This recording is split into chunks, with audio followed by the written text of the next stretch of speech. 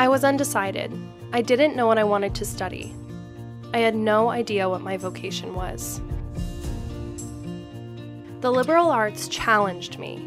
I found my passion. It was the vehicle that made me a better version of myself. It helped me continue to grow in countless ways and consider how I can make a difference in my community and the world.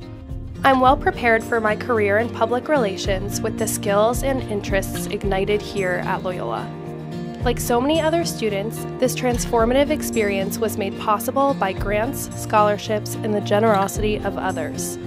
I have channeled my gratitude by working in fundraising at Loyola and aspire to give back as an alumna.